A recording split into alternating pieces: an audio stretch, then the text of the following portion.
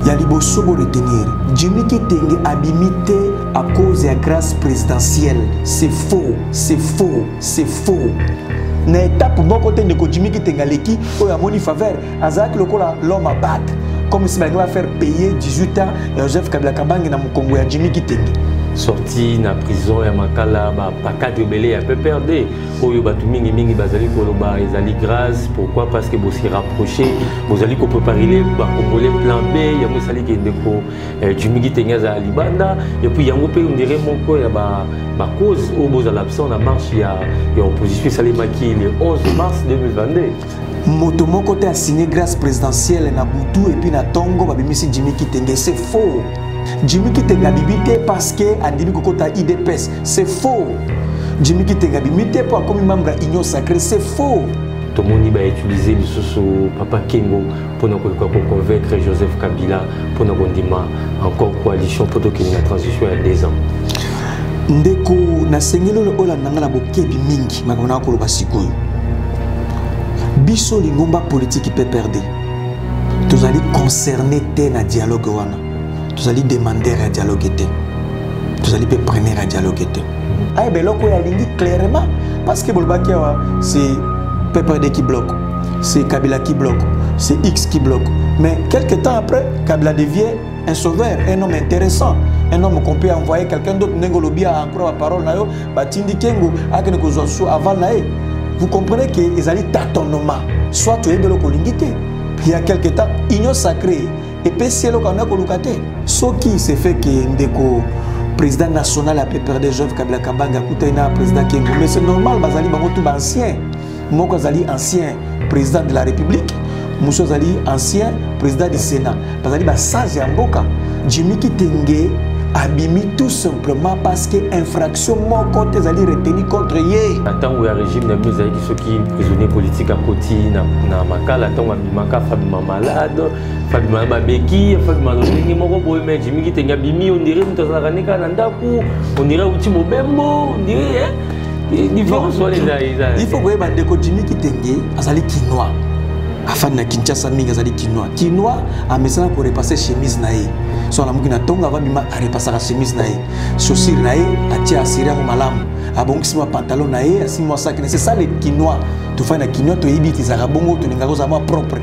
ata oza na eloko na libenga te mais kino alingaka paraître propre ata oza na prison makala oza kokemba na prison makala mais kino alingaka toujours et c'est ça c'est normal comme qui doit azala bongo azala na nzoto ya malamu et puis en plus timi kitenge azalaki porté supporté par sa famille politique azalaki savant te mwa savant banaye komonana mpe mwa ata mosusu mwa mungu ebandaki komonana eh, président national ya pprd atikaki jimi kitenge te lelo tose rendre compte que le vrai problème ce n'était pas kabila lelo kabila aza so na pouvoir te félix sekele aza na pouvoir yebisanga secteur nini eza koavance na mboka na biso noel chani ayamamaki epai ya mosokodia na quelques membres ya bureau ya assemblée nationale pour la deuxième fois na oyo etali bongo loi noel chani ya de père et de mare epuis tomoni discours ya président ya assemblée nationale alobi ete cette fois-ci azomema yango na plein air mpo apresente yango bandeko nyonso ya badepute mpo bayeba nini bakosala na yango ntango omonaki bavideo ya bongo to mpongo oyokaki bapropos wana esalaki yo c'est une distraction distraction ya monene oyo idps na sous-traitant na ye noel chani sujet américain bayamemela biso na mboka oyo Je suis fort convaincu que IDPS et Sengele qui sont jamais azala na bokonzi ya mboka oyo. Plus jamais descendant ya IDPS azala mokonzi ya Congo. Moi j'aurais souhaité même c'est un économiste na domaine de l'économie aye na ba innovation nini. J'aurais souhaité ayebisa biso que tala na sali loi moko na domaine na biso économie soki ka to appliquer yango mbala moko ba Congo ekoma économie moko Euh, émergente tokoma première économie ya afrique euh, première économie peut-être ya, ya monde esika oyo atangela économie atambola asala kuna akoki te mais asote kaka makambo oyo le père de mère père père te père de mère kuna abimi expert abimi expert kuna non ça c'est une euh, sikoyo pourquoi oéchoue na premier mandat olingi topesa yo deuxième mandat bayebaka moto na première mandat bamonaka ba, ba, ba aptitude ya kochange makambo na premier mandat c'est premier mandat nde epesaka bato mposa babakisa lao deuxième parce qu'il y a pas deuxième sans premier mandat donc premier mandat soki sikoyo échoué pourquoi oza koluka sous deuxième mandat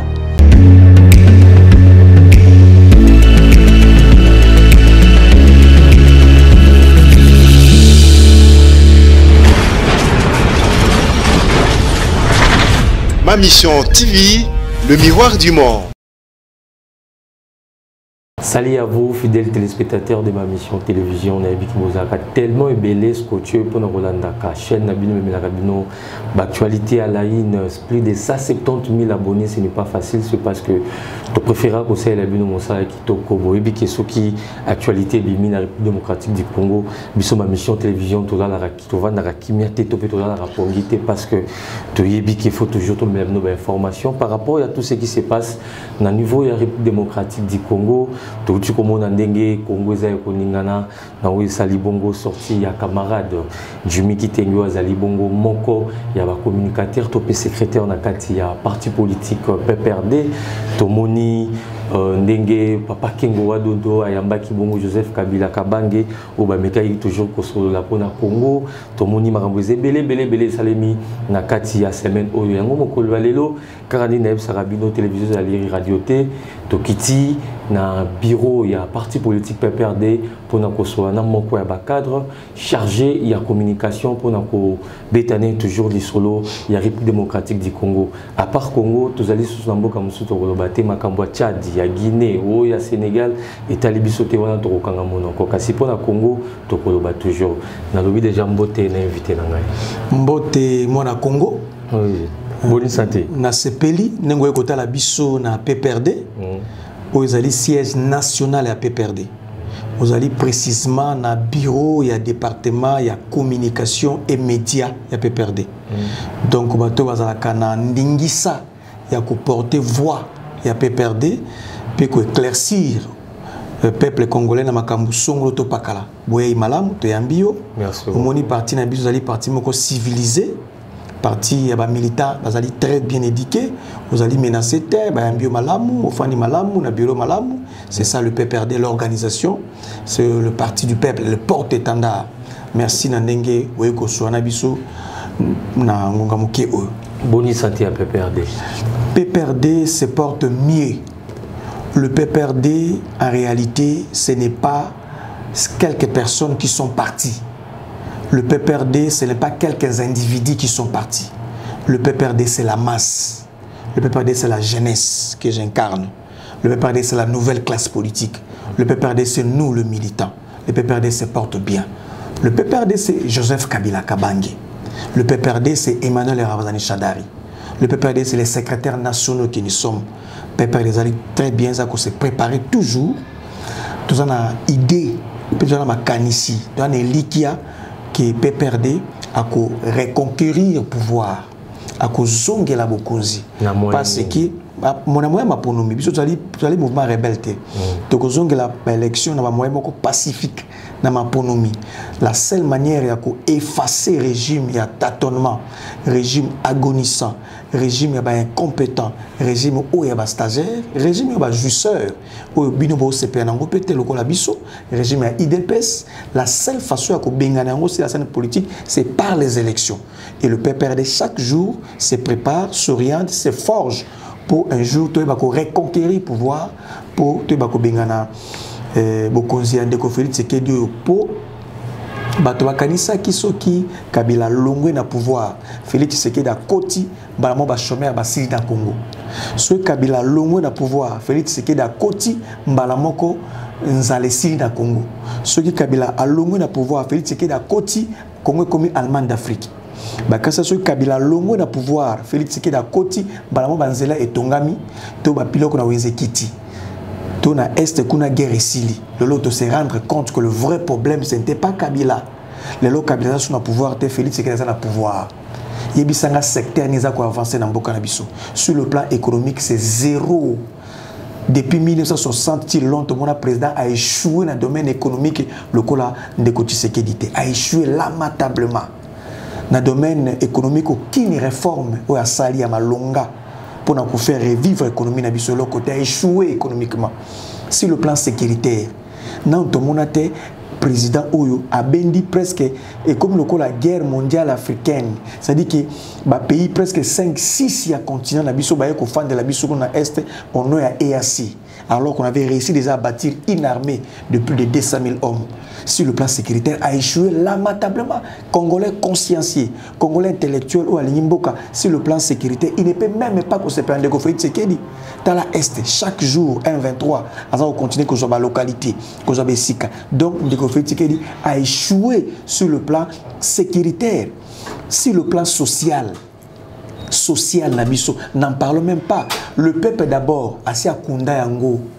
abosana le peuple d'abord akunda asisa alimusa yango l'état de droit elimu etika basloga moko abosana yango socialement lelo le peuple congo azali moko ya bapeuple le plus pauvre du monde ce n'est pas moi baagence ya nations unies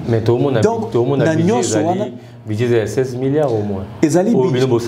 budget ya 16 milliards ezali budget moko artificiel ezali budget budget moko ya lokuta budget moko sur papier c'est faux le budget à 16 milliards wana ezalaka lokuta budget à 16 milliards de dollars de l'autre côté denis kadima akozanga mbongo ya kosala baélection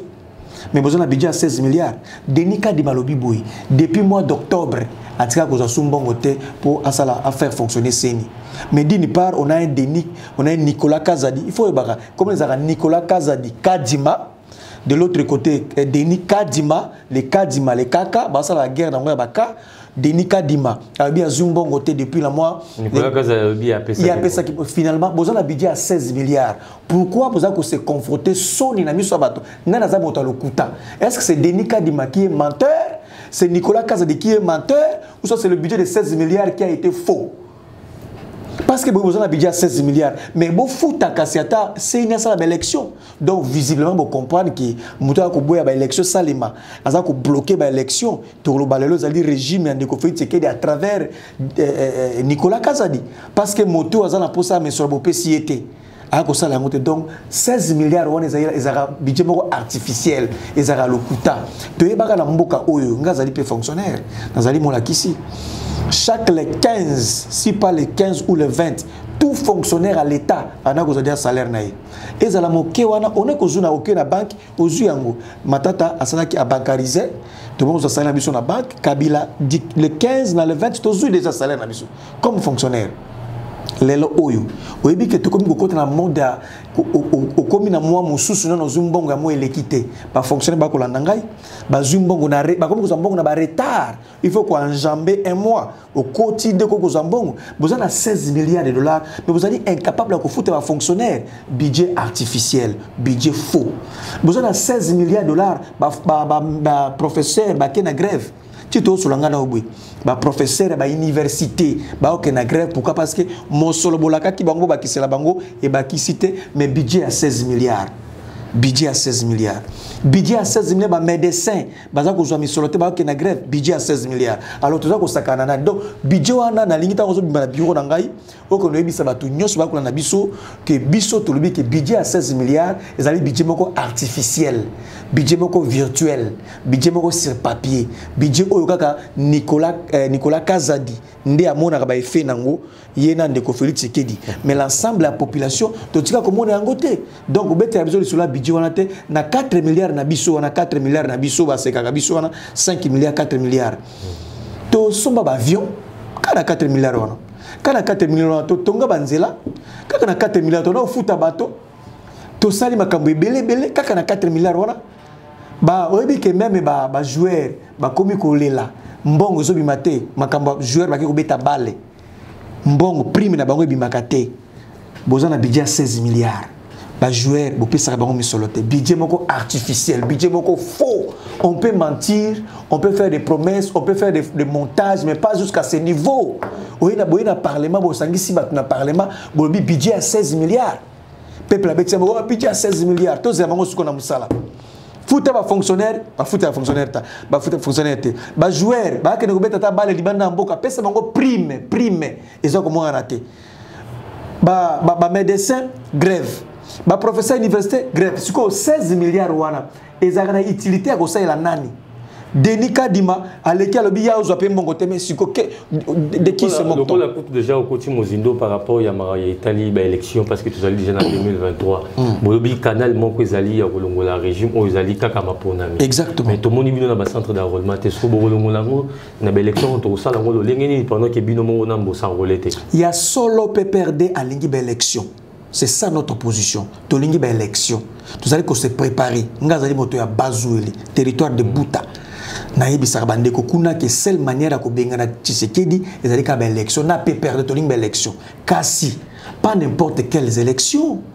tokoya koaccompagne bango na forfaiture wana te première test ezali boye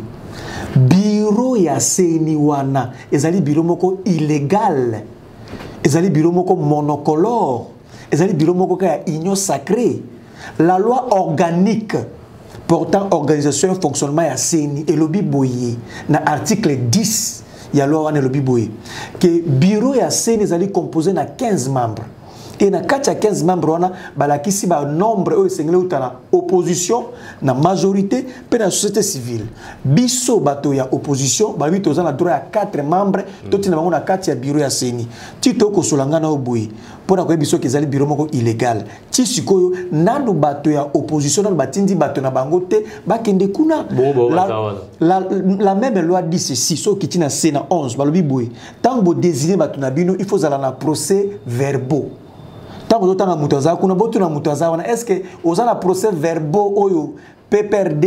to opposition epesaki okomi kuna ndenge nini comment okomi awa wapi procès verbaux parce que la loi parle de procès verbaux ezala jamais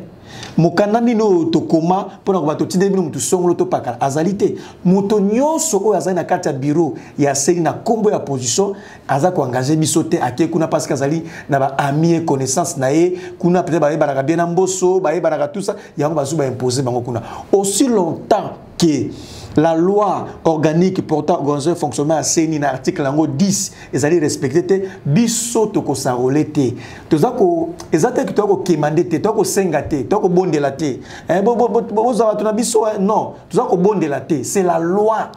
c'est la loi article 10 ya loi ya seni wana epesi biso ndingisa totinda bato bolingi élection esalema ya malamu ya kimia mpe ya pese mais oyo ya biso bato boboyi koyamba bango kuna procès va bomona te commission mixte paritaire elobi mpe kuna opposition majorité bafanda batraite badossier esalema te yango biso toboyi kosarole bamilita tu bakolanda biso bokosarole kaka mokolo oyo tokopesa bino mot d'ordre toyebisi bino ke sikoyo loi ezali respecte bamembre badélégué ya opposition bazali na kati ya bureau c'est en ce moment là nde tokokende kosarole boyebisa biso te ke il faut une année six mois mpo esalema même dans deux jours même dans une semaine soki bandimi que non opposition boyela biso liste na bino ya badélégué ya membre ya seni je vous dis le parti du peuple l'opposition akosala liste na ye mpo ezalaka déjà tokende topesi na baprocès verbaux bolongoli age matembo bolongoli john, john tokole bolongoli dide manara tozwi oyo ya biso bopesi nzela efungwami tokeba élection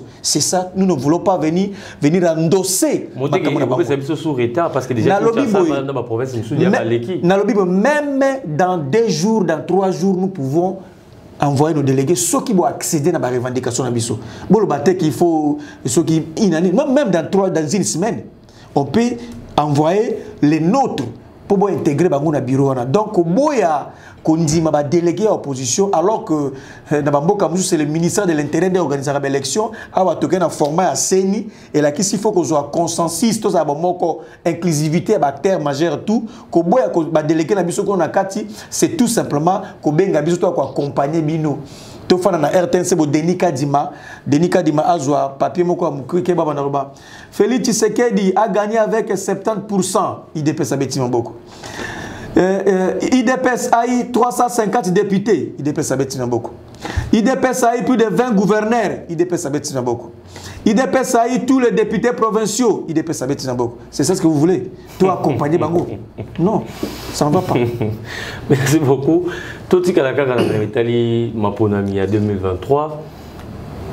mai eninganaka pamba te ezalaka toujours na likambo moko oyo eningisaka mai meme mopepe soki eye okomona efo eningisa mai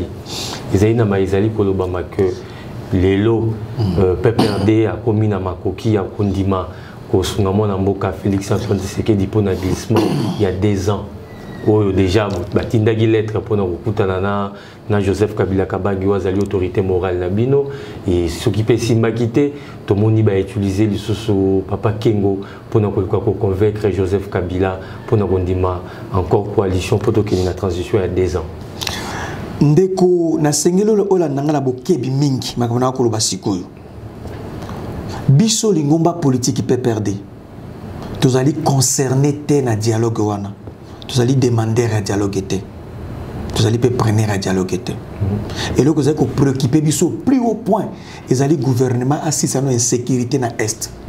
ti tokosola bo na est kuna bandeko baya kokufa baya koboma bato m23 aza koexiste bato bakomi na piscose insécurité eza makasi na est mpo na biso débat du jour tosengi na gouvernement na régime en place ba éradiquer l'insécurité na est tozali wana te mpo na dialogue tozali bosengi ya dialogue te tozali totandre maboko te mpo na dialogue ezali mposa na biso te toko do dialogue non d'abord insécurité na est premier point deuxième point ndeko fo tshisekedi aprometaki bato na mboka oyo plus de 250 promesses livre de promesses oyo na koma oyo ata bakolobela ngai anere aza kokende na kobimisa yango na congrès ya pprd livre de promesse wana ezali asala bato 250 promesse alobi akokokisa akosala bakosilisa kimia akopesa développement akosala chômage tout ça tolingi akokisa makambo oyo nyonso alobaki pendant pouvoir na ye parce qu'il a prometaki mose et merveille donc ndeko retenir que le pprd n'est pas demandeur on n'est pas là train de demander le dialogue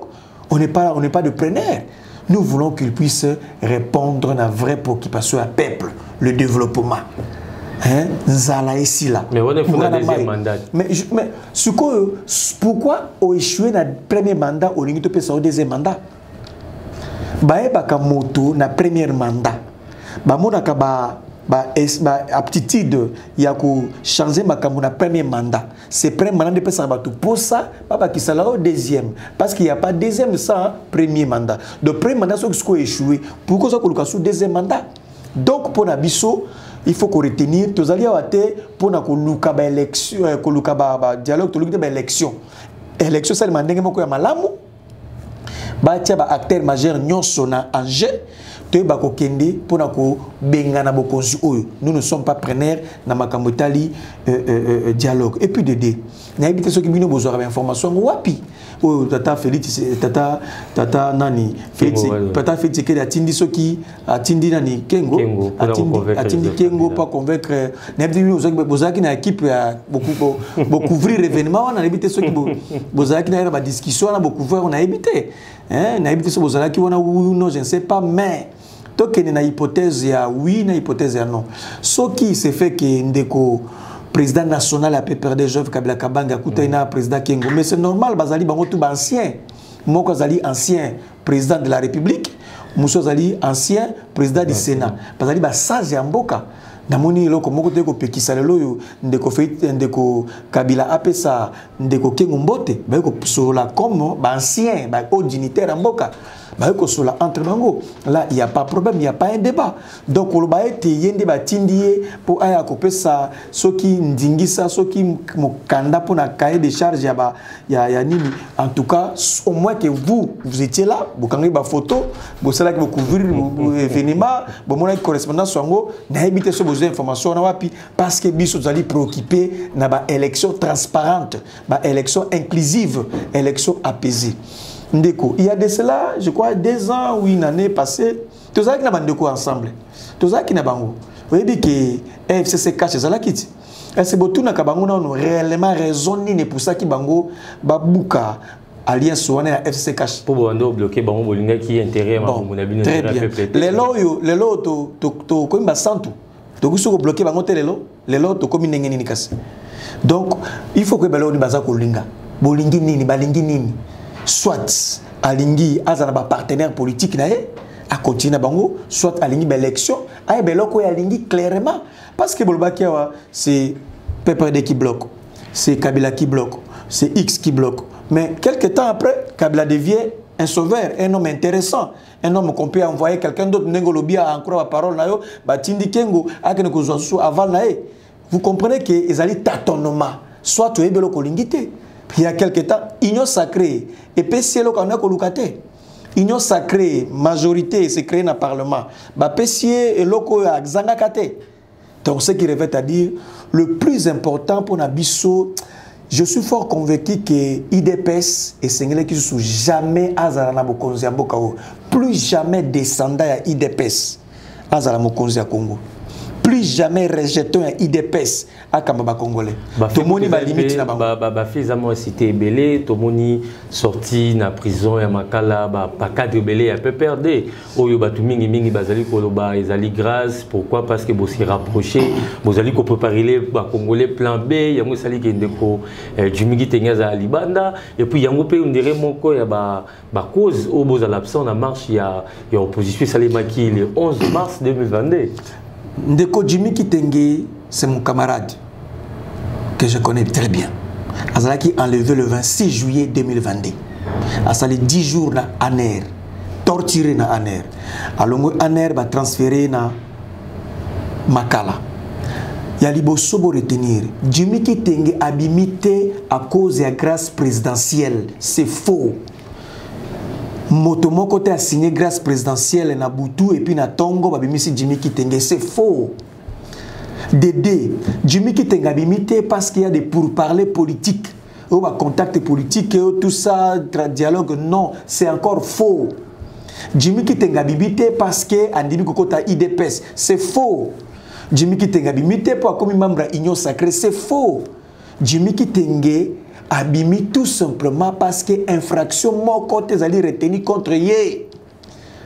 Jimmy Kitenge parce que monique Zali innocent rien n'a été retenu contre Jimmy Kitenge ce qu'il faut savoir c'est que Jimmy Kitenge a sali outrage au parlement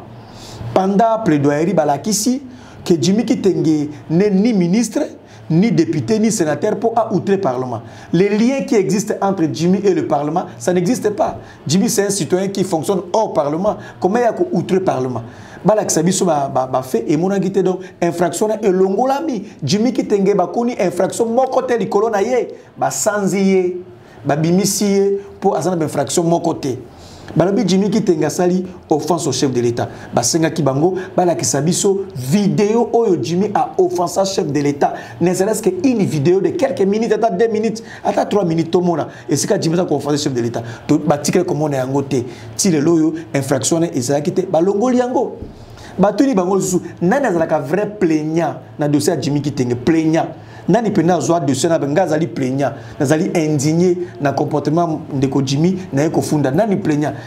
ti esila plaignant amonana te tala ba irrégularité ba irrégularité na dossier ya jimi kitenge on a compris c'était un dossier politique droit ezalaki na kati te yango bamoni nini babimisi jimi kitenge yango tosengi merci na bacongolais tout oyo baapuyaki biso pendant arrestation enlèvement ya ndeko jimi kitenge merci na ba, ba ong tout ya droit de l'homme oyo babele mpe balobaki merci mpe na baparti politike ya opposition ami merci mpe na baacteur politike oyo bazwaki dossier ya jimi kitenge balobi yango merci mpe na baambassadeur oyo bakotaki mpe likambo yango merci na baagence ya nations unis oyo bakotaki likambo yango balobi tout haut mais le monsieur là asali infraction moko te jimi kitenge soki abimi c'est parce qu'il n'y a pas infraction eloko moko ezali retenu contre eloko moko te batali bameki bameki kobutike rien esali actualité makasi pour dire que non euh, na ntango ya régime na bino ezalaki soki prisonnier politique akoti na, na makala ntango abimaka fabima malade fabima babeki fabima lolenge moko boye me jimi kitenge abimi ondire moto azalaka ne kaka na ndako ondire auti mobembo ondire eh? différence wana eza eza il faut koyeba ndeko Jimmy Kitenge azali kinois afandi na Kinshasa mingi azali kinois kinois amesana ko repasser chemise na ye so alamuki na tonga ava bima arepasaka chemise na ye chaussure na ye atia asiri yango malamu abongisi mwa pantalon na ye asimi mwa saki na c'est ça le kinois tofandi na kinois toyebi te ezalaka bongo tolingaka kozala mwa propre ata oza na eloko na libenga te mais kinois alingaka paraître propre ata oza na prison makala oza kokemba na peso makala mais kinois alingaka toujours et c'est ça c'est normal comme kinois azala bongo azala na nzoto ya malamu et puis en plus timi kitenge azalaki porté supporté par sa famille politique azalaki savant te mwa savant ebandaki komonana mpe mwa ata mosusu mwa mungu ebandaki komonana Eh, président national ya pprd atikaki jimi kitenge te secrétaire permanent emmanuel rosane chadari atikaki jimi kitenge te biso bacamarade na ye totiki jimi kitenge te parti na ye batiki jimi kitenge te en fait jimi kitenge azalaki ye moko te na nsima jimi kitenge avait toute une armée politique Hein, toute une armée politique oyo bazali visible invisible bato boyebi na bayebi te zete derrière jimi kitenge mwa mwa savon mwa biscuit tout ça on apportait à notre camarade et puis certains kino amesana propriété na ye azalaka na prison makala me akataka suki moni yango akataka mpe suki na ye c'est normal afandi mwana e c'est ça un kinois il est ive c'est ça un kinois donc abimi lokola moto oyo eh, ayebi kokata mwa suki na ye tout ça ayaki souteni mais hormis jimmy kitenge on a aussi un autre camarade aza na abimi to obima komona momo molapo botanga kombo na ye mingi na lwalaba botanga kombo na ye te momo molapo bakanga ye ndenge nini na lwalaba ezalaki na meeting ya pprd kaka mpo alobi koloba ya pamba koloba discours bakangi ye bakagule ye batie bamenote na mviobu kolongwa kuna baemimi awa bakotisi oyo na 3 zulu awa soki ezalaka soki aner moko awa asala plus de 6 mois na aner kobela na kobela balongola ye bakei na prison makala ngai akende komona ye makolo evimba vimba ye momo molapo makolo evimba aza kobela tout ça na aza mpe kapeprd ntango abimi eza ndenge na ye ye aza moto ya lwalaba ntango abimi moyalinga akotika suki ebele voilà omoni différence moko azali kinois moko azali moto ya lwalaba aza na style na ye c'est normal l'environnement efasonaka moto na ndenge aza kovivre jimi aza moto afandi na commune oyo toyebi ndeko momo molapo auti na province ayebi donc des individus différents oyo moko aza na style de vie na ye moko abimi na ndenge abimi donc il faut pas koloba eh, ah, ndeko jimi ntango azalaki na makala azwaki traitement moko particulier oyo gouvernement en place ebandaki kokende otikile chaque ntongo miliki ena kotikile chaque ntongo soki malipa non non non non jimi a été prise en charge Pas sa famille politique. Parce qu'il y a toute une armée politique derrière Jimmy Kitenge. Il était un, un camarade qui a fait la fierté qui s'est démarqué dans la communication, qui a marqué son époque, quoi de plus normal que atanga zaki na 100 francs, na kebo yanga 100 francs ngwana. Ata yo oza na 100 francs, yanga 100 francs ngwana. C'est normal azanenga zalaki. Ce n'est pas faveur azue pas ya ya bato ya regime kota kuna zwa kota tuna kamera tala balakisa baprisonnier mosusu bazali mpe kuna omona okolela moleka papa moleka akendeki na papa moleka akendeki na prison récemment ake kosolola tout ça ayebisi yo rapport asa ayebisaki yo ke na prison ndenge bato ya kokufa na nzala mm. donc cas ya jimmy eza parce que c'est un kinois amesana korepasse chemise na ye chaque ntongo avabima chaussure na ye atia yango apatia yango malamu engeli alati ceinture na ye asimbi saki na ye parce qu'il est kinois amesana bongo donc ce n'est pas une faveur obtenue epai ya ndeko felix ekedi encore qu'on voulait à tout prix bacloue ye na etape moko te ndeko jimi kitenga leki oyo amoni faveur azalaki lokola l'homme à battre comme si balingi bafaire paye 18 ans ya joseph kabila kabange na mokongo ya jimi kitenge babi yo nde ozokontinue koloba yo nde okofuta yango sikoyo ale bazwi baleve torture c'est ça la réalité ok merci beaucoup lobi mpe tomonaki ndenge noel chani ayambamaki epai ya Mboso Kodia na quelques membres ya bureau ya Assemblée nationale pour la deuxième fois na oyo etali bongo loi Noël Chania de père et de mère et puis tomoni discours ya président ya Assemblée nationale alobi ete cette fois-ci azomema yango na plein air mpo apresente yango bandeko nyonso ya badepute mpo bayeba nini bakosala na yango ntango omonaki bavideo ya bongo to mpo oyokaki bapropos wana esalaki yo nini c'est une distraction distraction ya monene oyo idps na sous-traitant na ye noël chani sujet américain baye amemela biso na mboka oyo noël chani epai ya modèle alors que toza na mposa ya développement alors que toza na mposa ya sécurité ekota na este alors que toza na mposa basilisela biso nzala bajeune bazwa mosala bacreye baentreprise mais idps aza kopesa misolo epai ya noel chani mpo noel chani amema loi wana na parlement mboso ayamba ye ce n'est pas ce n'est pas ce qui est urgent il y a même pas une opportunité quelle est l'opportunité lelo ya kotraite na loi wana c'est quoi l'opportunité l'opportunité comment idir les congolaises et congolais mpo tozala moto moko mpo tosisa insécurité na est c'est une distraction monene oyo noel chani azali sous-traité par idps akomemela biso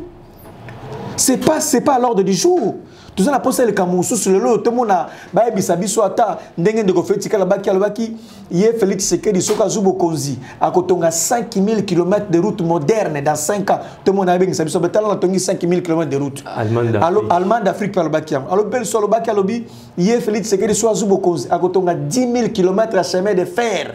akorelie congo na chemin de fer tomona ata yango tomona ndenge alobaki asangisi parlement réuni en congrès na 2019 alobi ye asombi 8 avion 8 avion ya congo airways adetaille kutu bacaractéristique ya avion yango tomona ata babiloko wana tomona ndenge alobaki ke asali caisse moko boye bagene baobana kokende kozwa bacrédit na kesi wana tomona ata ekokisami tomona ndeko fetike ndenge alobaki azwi cle azwi cle na maluku atomboli cle alobi fini nasilisi nzala cle esili yango oyo nayebi te soki cle yango ezalaka na poche na yo to ezala na poche ya cameraman nayebi te cle yango ebungaka boekweya na mai nzala esila maluku eloko moko te bima kedi asala makambo ezali réel visible palpable olia akoyebisa biso badistraction ya ndeko noel chani alobaki akosilisa delestage na kinshasa asombi bakabine ya courant tout ça détaille kodi bakabine yango aosisa delestage lelo oyo tokoki kotambola telefone na biso na poche esuki omona ma courant okotisi ozwa ma, ma, ma énergie tomotika komona eloko te eloko nini oyo ndeko fetikede alaki biso asi akokisi mpo bamema biso na badistraction na balwa chani c'est une distraction mutu oyo adetourna mbongo ya chile gelou aza congolais de père et de mère moto oyo ayiba mbongo ya ram nayebaka nano nkombo na ye te azalaka nani c'est un congolais de père et de mère oyebi ete ezalaka jeu na présidence oh, mbongo ya ram mbongo ya ram kasi bazali kodépendre na, na présidence te aza congolais de père et de mère te congolais de père et de mère ayiba biso mbongo ya ram ti lelo oyo soda aza na, na france aza kobunda asombi unité mpo abenga mwasi na ye bobotole su mbongo ya ram aza congolais de père et de mère projet baprojet oyo ya, ya tu azwi oyo ya chile gelu eza projet ya 100 jours hmm. bato bayili bambongo ya projet 100 jours baya bakongo de père de mare bato bako escroquer bafrappeur oyo baye bambongo nde ezokende oyo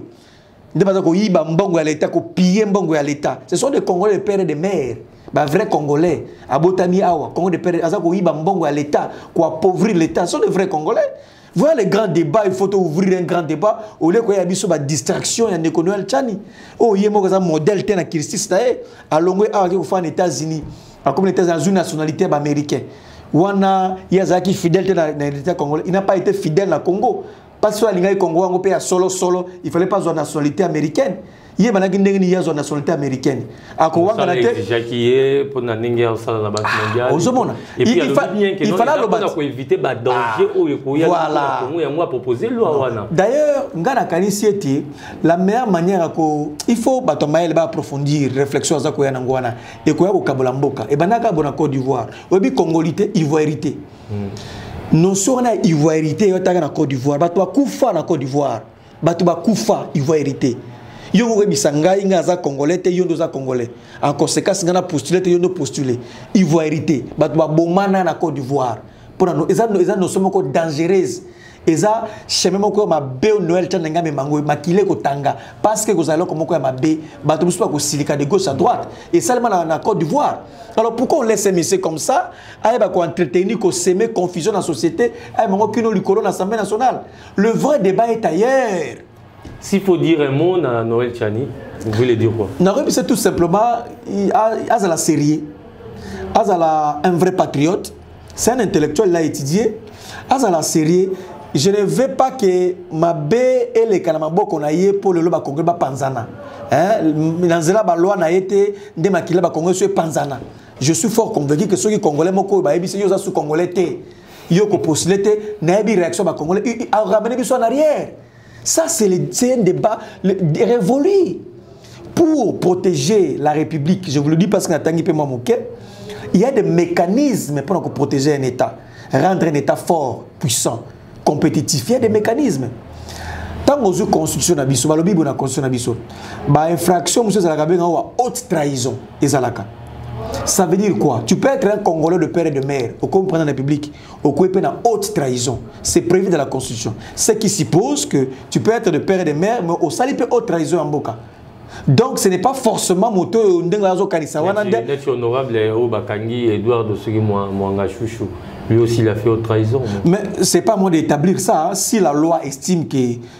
député national ce n'est pas nous c'est azano bazano na peut-être soki euh, ba juge ba se prononcer sentence azano na fazo ba ko tala ba infraction na si s'avère que effectivement ezali bongo l'état a se prononcer justice a se prononcer mais ngako ba makambo ya Noël Tchani donc ayeba ete la constitution déjà etia infraction na haute trahison ndenge président république aza wana akoki mpe osala asali mpe libungi akpe na haute trahison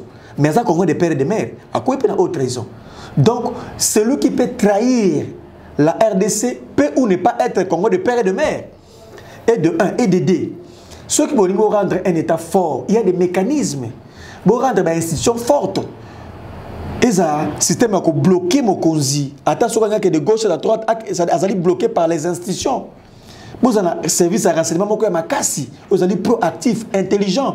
bozala armée moko ya makasi bozala administration moko etelema ya makasi botya bamécanisme botonga mboka ya bainstitution moko ya makasi oyo meme osome yo moko individu tu sauras pas le faire bomoni donald trump te ntango aboyi kopesa ba donald trump ntango azalaki président azwi te akomi koboya kopesa badocument mosusu alingi ase comporter autrement ce sont les institutions am américaines bafaire réfléchir et non ça peut pas être comme ça parce que azalaki prise en charge par les institutions olie boya na baloi oyo aza koya nango wana moi j'aurais souhaité même c'est un économiste na domaine ya économie aye na bainnovation nini j'aurais souhaité ayebisa biso ke tala nasali loi moko na domaine na biso économie soki kaka toaplike yango mbala moko ba Congo ekoma économie moko euh, émergente tokoma première économie ya Afrique euh, première économie peut-être ya ya monde esiko ya tangela économie atambola asala kuna akoki te mais asote kaka makambo oyo le père de mère père de père te père de mère oh, iguna abimi expert oh, oh. abimi expert kuna oh. non ça c'est une akoki te neni namoni kaka ke non par ah. rapport ya koprotege mpe ah. mboka mpo na babalkanisationaproposeatika ezali azali sous-traité il paraît asala mpe na banque mondiale mais suko mayele tu wana banque mondiale asala wana est ce que pourquoi na domaine économique aya ata asala ata entreprise moko te tangelanga entreprise moko noel tiana asala na mboka oyo parce que bakaza badiplôme atanga entreprise asala besoin ya banque centrale bapesi ye te yango nalobi fo azala sérieux il doit être sérieux oh, il, pas sérieux. il doit être sérieux domaine na ye ezali économie aye na secteur na économie a échoué d'abord ata entreprise moko te oyo ye amemi na mboka oyo asali to amemi bainvestisseur to ye moko acréer entreprise aréussir parce kabi aza mayele mingi banque mondiale il n'a rien fait il n'a rien foutu kaka kuna kaka de père et de mère c'est là tout ça il veut faire aventure na ye donc il doit être sérieux congo congo oyo tokenda yango na lolenge toyo tokenda yango wana te toluka su te ya kopanza congo nga aza congolais oza congolais te yo ozwa oyo okozwa oyo te tomona yango jurisprudence ya côte d'ivoire alors tosakana na badossier wana te nga namoni ezali une vaste blague se message d'abord certain américain nazwaki information epa mwasi na ye na télévision mwana ya noël chani aza na passeport américain donc un message comme ça deya son cursus ezali truffé na beaucoup de fautes alors ya kopesa biso leçon ki ya lingi Congo koleka non c'est pas ça OK merci beaucoup donc on a biso déjà profité na émission na biso moko na lelo est-ce que na 2023 oza ko s'attendre toke na makambo c'est ça notre souci c'est ça notre souhait tolingi ba élection esalema conformément à la constitution ezali ngai te ezali yo te ezali moto moko te c'est la constitution qui a dit que 5 ans après esengeli tokɔta na maponomi donc il y a aucune raison lelo bato oyo baye ya idps baboya kosalisa maponomi tosalisa baélection C'est ça notre souci. Et nous voulons les élections. Na sepela ki na likambo olobaki mpo na maponami esalema malamu il faut que kimia ekota na est république démocratique du Congo. Bongo soki kimia wana ekoti te pendant 2023 au mobimba. Est-ce que oyebi que le président en exercice reste en fonction? Soki tokomi le 20 décembre 2023 élection salemi te. Mm. D'abord tokotire tokotire toutes les conséquences. Il y a incompétence il y a régime Oyo, il y a gouvernement, il y a Kozanga Makoki, il y a élection. D'abord, premier élément, il faut prendre acte de l'incompétence. Nous allons prendre acte que, messieurs, nous prenons acte de votre incompétence. Vous n'avez pas organisé les élections, conformément à la Constitution. Nous prenons acte. Deuxièmement, maintenant, il faut réfléchir comment bien, vous qui est incompétent, il y a organisé l'élection. Qu'est-ce que nous devons maintenant faire pour toute cette élection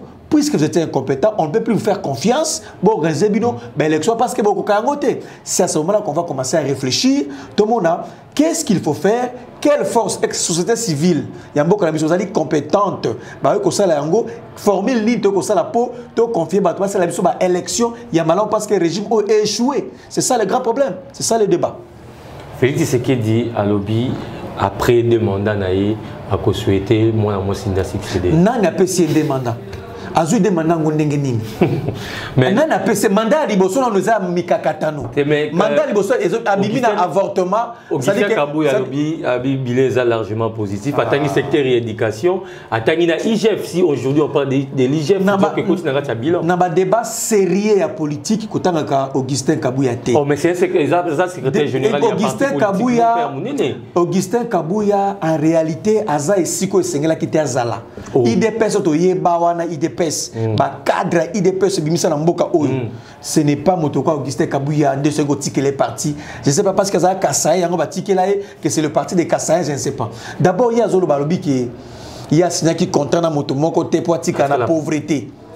soki ya yo osinaki contrat te otika na pauvreté bongo bamilitant ya idps bango nde basinaki contrat atika na pauvreté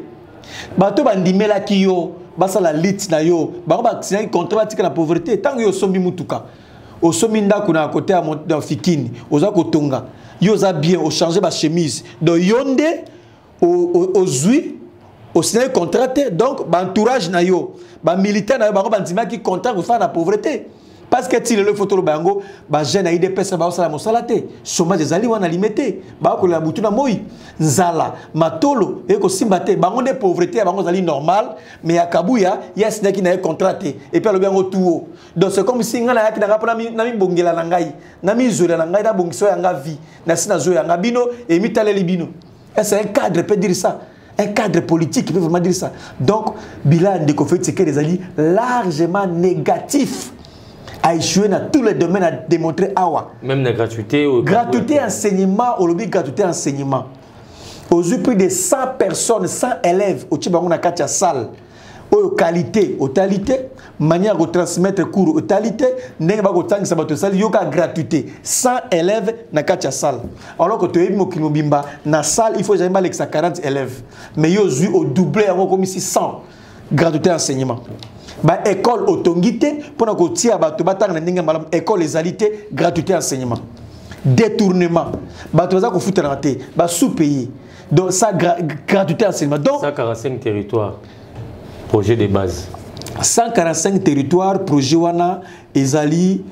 euh, projet 100 jours bis ezali projet chile gelou bis ezali projet ya détournement bis c'est un autre mécanisme ya détournement ya mbongo ya l'état yango babengi yango projet 145 territoire ezali encore une fois bapesa opportunité na baconseiller ba ya président de république badignitaire ya mboka mpe bakolia su mbongo na projet 145 territoire parce que chaque conseiller ya président de république mwasi naye aza na ong ong na ye wana yango nde baza kozwa bakozwa mbongo na projet 145 territoire bakende kosala yango na baterritoire mpo balia donc c'est une manière ya kolia susu mbongo ya l'état d'une manière voilée soki balingaki projet 145 territoire eresir il fallait bana ko faire fonctionner caisse ya péréquation la caisse nationale ya péréquation yango ezali caisse oyo esengeli mbongo ekota na kati mpo ba kofinanse ba territoire kofinanse ba province caisse nationale ya péréquation eza koexiste mais mbongo eza na kati te kasi bazwi mbongo bapesi ba particulier basala programme ya 145 territoire détournement ekoya na kati et puis bato ba kosenrichir ekozala koka projet 145 territoire projet 100 jours projet chile joulu et tous les projets oyo ndeko feti ekedi asala ata moko te réussir pour na détourner pour na kimoyibi yango ekosalema na projet 145 territoire merci beaucoup wana ezalaki moko ya bacommunicateur ya parti politique pprd ndeko aristote oyo nabengaka mingimingi mwana mboka mpona kosola na ye moko na lelo boyoki ndenge ayanoli na mituna nyonso oyo ebandaki kotongisa bino par rapport ya baélection oyo etali bongo glissement ezali ko se préparer bomoni ndenge ya éclaircir biso atalisi biso tobeti mpe lisolo ya sortie ya ndeko Jimmy Kitenge ndeko Aristide mwana mboka tokomi na suka s'il faut dire quelque chose na ba pro Congo nyonso balandi yo nini okoki koloba na bango nakoyebisa bango boye surtout bandeko ya libanda ya mboka hmm. ba diaspora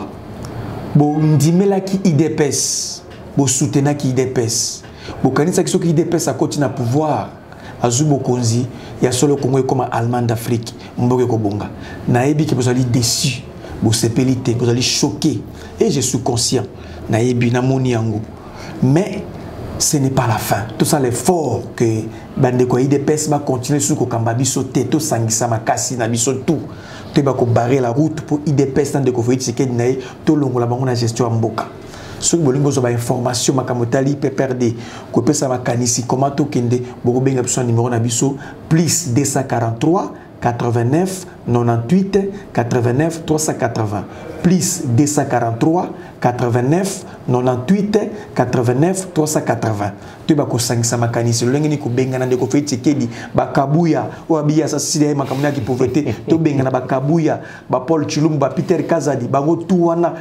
tobengana bango na pouvoir d'une manière démocratique topesa espoir na congolais mosusu ayeba kokamba mboka na biso c'est ça le grand problème